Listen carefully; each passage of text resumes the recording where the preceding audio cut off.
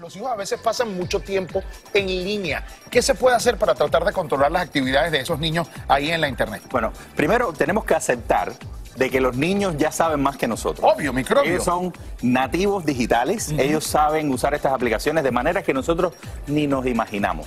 Por eso los padres tienen que utilizar aplicaciones que los ayuden a monitorear todo, y te estoy hablando de absolutamente todo lo que están haciendo ¿Cuánto en tiempo línea. pasan, dónde Aquí, van, ejemplo, etcétera? ¿Cuál es la primera, Ariel? Hay una aplicación que se llama Custodio, que te da, por ejemplo, localización, te dice los sitios que están visitando, si son apropiados o inapropiados, los textos que están enviando, las fotos que están tomando, Se llama las Custodio. aplicaciones, exacto. Ahora, Ariel, ¿esas aplicaciones son gratis o por lo general tenemos que pagar algún monto para poder bajarlas e incluirlas en la tableta? Tienen versiones gratis y tienen versiones que le llaman premium, Ok. pero son bastante asequibles. Estás hablando de alrededor de 20 a 50 dólares al año. Bueno, que eso. A ver, Exacto. explica cómo funciona entonces, por ejemplo, en el caso de custodio. Eh, lo- el, el padre tiene su propia aplicación y en el teléfono, en la computadora del muchacho va otra parte de la aplicación. Entonces se le instala y empiezas a monitorear todo lo que está pasando en esa aplicación, ese teléfono y puedes bloquear lo que tú no desees. Por ejemplo, puedes bloquear una aplicación específica o una categoría de sitios específicos y lo más importante que puedes ir viendo lo que están haciendo y así puedes bloquear o permitir según lo van utilizando. Lo tienes ahí, lo tienes ahí en el iPad para verlo. Exacto, sí, en este caso, este es la- la- el padre, aquí estás viendo aplicaciones, por ejemplo, eh, que está usando una aplicación Mira, de podemos- radio, podemos- podemos está ahí. usando una aplicación, eh, abrieron, por ejemplo, Instagram y Skype y otras aplicaciones. En cualquiera de estas aplicaciones que estén utilizando, tú puedes decirle, vamos a bloquear esa aplicación específica y se acabó, ya no la pueden Perfecto, utilizar. ahí para que no lo están viendo claro, ahí se ve claramente todas las aplicaciones que ya el niño o el adolescente tiene en su ah, tableta o en su teléfono. Y Pueden ver utilizando. hasta los textos, las conversaciones del WhatsApp, absolutamente todo. todo, la foto. ¿Cuál es la otra aplicación que me ibas a decir? La otra aplicación se llama MobiZip. Movisip. ¿De qué se trata Movisip? Movisip también monitorea la actividad. Eh, lo único que puedes instalarlo en más eh, distintos em- em, eh, equipos. Devices, como le dicen en los equipos. Devices, más variedad de devices y también te- puedes tener más devices por cada cuenta.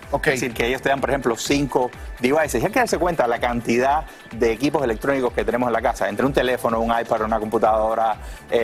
Cuando vienes a ver, un muchacho tiene acceso a 5, 10 computadoras distintas. Ahora, Ariel, ese, ese muchacho, ese joven, ese niño, ese adolescente, ¿sabe si nosotros instalamos esa aplicación? ¿O puedo no decirle nada para más bien tener yo la seguridad de que él siga haciendo lo que él quiere, pero y así yo lo descubro o veo lo que está haciendo? Puedes no decirle nada, Ok. pero siempre yo creo que ser, debes tener esa conversación con los muchachos para que sepan lo que está pasando. Y tú le dices, te voy a monitorear el teléfono. Y muchas veces lo que en mis propios experimentos me he dado cuenta que no tienes ni que instalarle nada, solamente tienes que decirle, te estoy monitoreando el teléfono y ya eso resuelve 50% del problema. Mira, yo tengo 47 años, en mi época nada de esto existía. De hecho, yo decía, voy al parque. Mm, y me iba a otro lado, me escapaba como adolescente, ¿verdad? Pero uno siempre quiere saber dónde están los hijos, cómo se encuentran y cómo la tecnología, entonces la pregunta es, ¿nos puede ayudar? Bueno, hay aplicaciones, por ejemplo, como Live 360. Ajá. Y aquí les voy a enseñar esta aplicación. Cuando ¿Verdad? está instalada, A la cámara a todos los miembros de la familia. Ok. Y aquí me está diciendo la localización donde yo estoy. Aquí estoy en el Doral, en Miami. Ajá. Y en este momento me está diciendo cerca de qué dirección está. Entonces, por ejemplo, puedes saber si los muchachos llegaron a la escuela, cuando empiezan a conducir, si están yendo a don- a donde dice que, que están yendo. Ok. Y así como padre y como familia, tienes tranquilidad de que toda tu familia llegó sana y a salvo a su destino. Bueno, y la señora también, quizás se la puede instalar para ver dónde está el señor. Es la, Esa no una de, la- de las solicitudes más populares que recibo por internet. No, tú sabes que sería bueno también porque me imagino que esto, sobre todo desde el punto de vista tecnológico, como está hoy en día y avanzado, que puede avisar si la persona, si tuvo un accidente, Exacto. me encuentro aquí o me pasó esto. O sea, creo que de alguna manera... Y también tiene beneficio de que si pierdes tu teléfono o si pierdes tu tableta, puedes saber en la última lo- localización que se encontró cuando se conectó al internet. Así que si caminas solo, también puedes saber dónde está. Se llama Live 360. Live 360, L-I-F gracias. 360. 360, te deseo todo lo mejor, mi querido Ariel Coro.